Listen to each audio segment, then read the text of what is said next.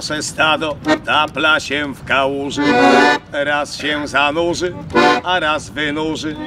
Okoczo błotem obrzuca się, bo tylko dobro stada liczy się. Okoczo błotem obrzuca się, bo tylko dobro stada liczy się.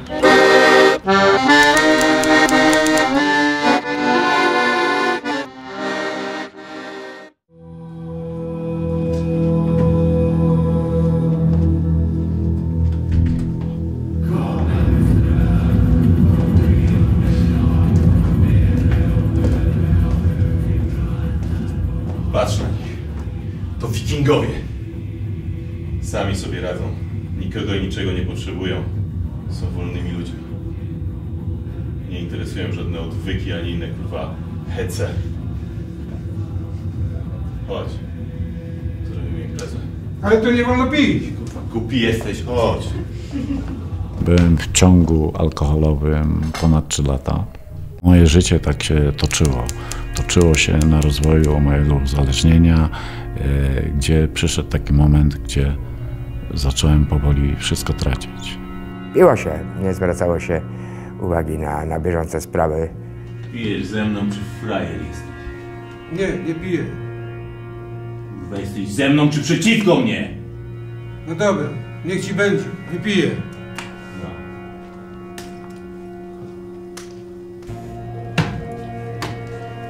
A co to panowie, imprezka? A co? Za twoje chlejemy, frajerze? Miałem olbrzymie problemy z alkoholem. To nie było picie, tylko to było, przepraszam, że tak powiem to słowo, chlanie. Naprawdę, proszę cię, daj mi. Co chcesz? Daj mi, zostało coś tam jeszcze. Nie, nie możesz już pić. Dochodziło do takiego czegoś, że ja potrafiłem w nocy stać, udać się do sklepu, zakupić pół litra do domu, ale jeszcze przed sklepem wypijałem ćwiartkę. Przychodziłem do domu i piłem ten alkohol sam, do tak zwanego lustra. I na nowo. Doprowadzałem się cały czas do tego, żeby być pijany, pijany, pijany, pijany. Nie doprowadzałem do tego, żeby mieć kacę. To było w dzień w dzień picie.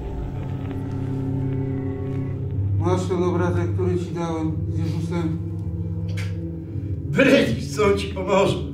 Idę po lekarza. Daj mi go. Proszę, daj mi go. No masz. Albo nie. Daj mu. Daj kogoś innemu. Hej, mały! Mały, nie świruj! Mały! Panowie szybciej, coś się stało.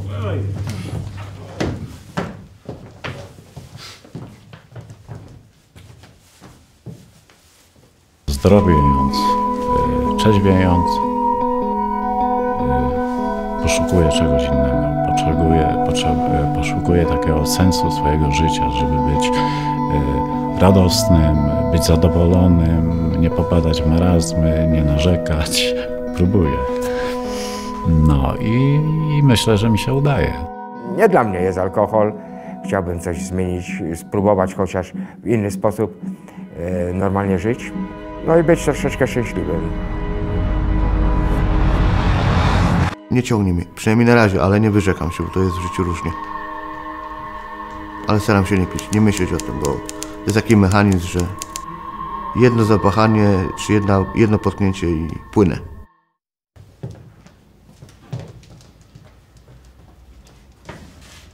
Jesteśmy z urzędu. Przyszliśmy wykonać wyrok.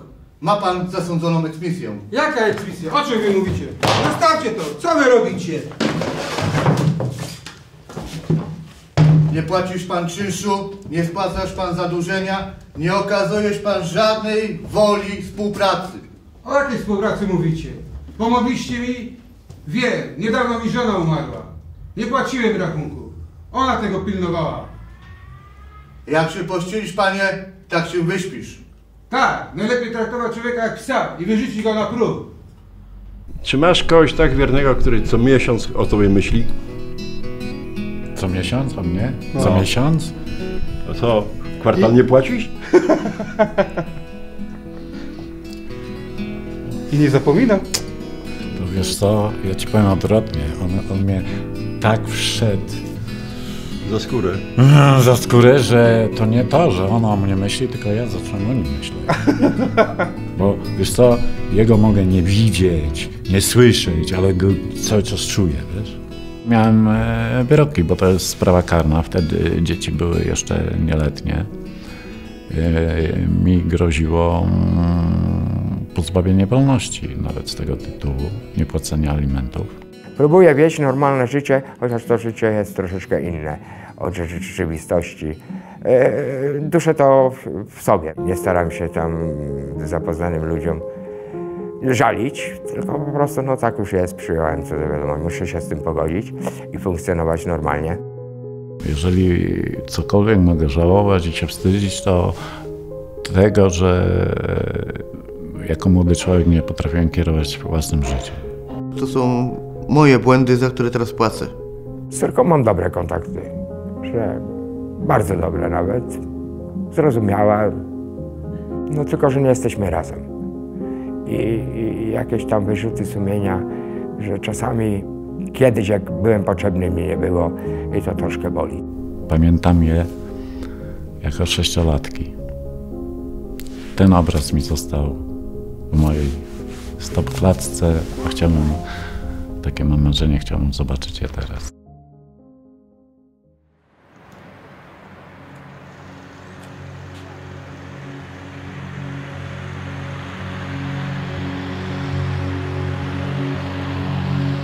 Jak można opisać osobę bezdomną? No mówię, można to podzielić na dwie grupy.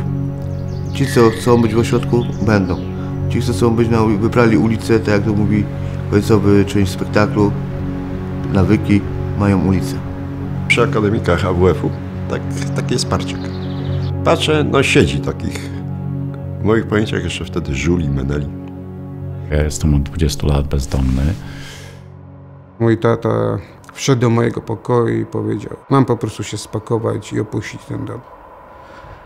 No i więc tak zrobiłem, tak, byłem ubrany, wyszedłem. Pół roku spędzałem na ulicy. W tym roku będzie w czerwcu 4 lata, jak jestem osobą bezdomną. Z 2-3 lata może po ulicy się błąkałem. Dla mnie to była szkoła przetrwania i życia. Trzeba się zatroszczyć o to, żeby, żeby przetrwać każdy dzień, żeby było co zjeść, żeby się można było chociaż wody czy orężady napić. Bardzo dużą ilość nocek spędzałem w parkach, spając na ławce. Ja sobie zdawałem to sprawę, że śpię i nie wiem, czy ktoś mnie w nocy nie zaatakuje, czy czasami coś strasznego się nie stanie. Ryzykowałem. Tak samo na klatkach. Dużo się słyszało o takich rzeczach, że po prostu po klatkach chodzili małolaci i tylko patrzyli, gdzie jaki bezdomny śpi, żeby go ciężko pobić. Człowiek poznaje rzeczywisty sens takiego może przysłowia samotny wśród tłumów. Dlaczego samotny? Bo człowiek się tylko wstydzi, że jest bezdomny. Tak długo jest dobrze, możesz być tym bezdomnym, dopóki po- posiadasz pieniądze. To cię każdy zaprosi do domu, każdy cię nawet ugości przez parę dni. Korzystając z twoich pieniędzy balując i tak dalej. Kiedy pie- pieniądze się kończą, to jest koniec. Poczułem takiego powera, ale takie. To jest trudne. Dla mnie to było trudne przedsięwzięcie, ale powiem, że obecnie no, czuję się z tym dobrze. Na początku to było o tyle dla mnie takie, że musiałem nie tylko znać swoją rolę, ale także i kolegów. Myślałem sobie, że nie dam rady, bo to widzowie, bo to trema, bo to, bo tamto. No ale jakoś zadziałało. Raz występ, drugi raz występ, trzeci, czwarty. No i wszystko jest okej. Spotkałem fantastycznych ludzi, bardzo ciepłych, serdecznych, i przyjacielskich, którzy nie okazywali jakiejś po prostu pogardy. Zaczęliśmy próby, przedstawienia. Y, Na szczęście no, jakoś to się udało.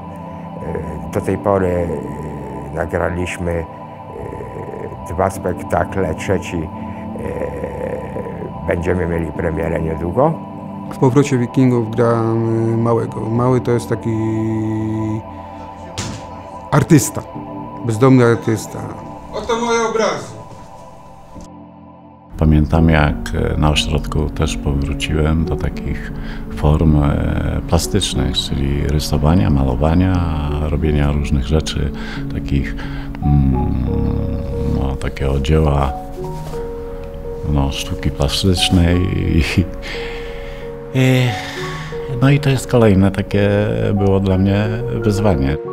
W sumie z zawodu jestem trenerem, byłem siatkarzem, czyli zacząłem prowadzić gimnastykę na ośrodku i zacząłem powracać. Zacząłem nag- nagle, aha, no przecież jednak coś umiem, coś, coś mogę pokazać. I nagle poczułem, że, że, że, że gdzieś tam już przestaję być tym, tym zwykłym bezdomnym. Ja z ośrodka już wyszedłem. Jestem na tak zwanym mieszkaniu terapeutycznym. Ukończyłem dwie szkoły, podstawową i zawodową. E, Jestem stolarz meblowy. Tylko na dzień dzisiejszy w zawodzie pracować nie mogę ze względu na stan zdrowia. A chciałbym, chciałbym jeszcze poskrobać te deski, jak to się mówi.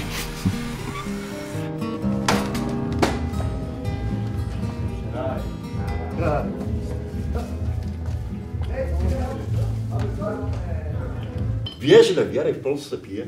Wiem. Poważnie?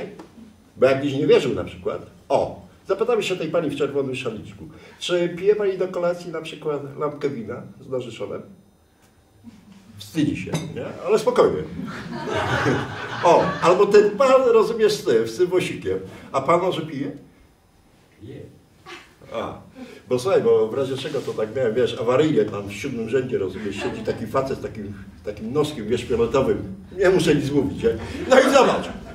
I czy coś z tego wynika? Nic, bracie. Dlatego kończę tą śmieszną zupkę i co? I wybywam stąd. A dlaczego? Bo jestem wolnym człowiekiem. O!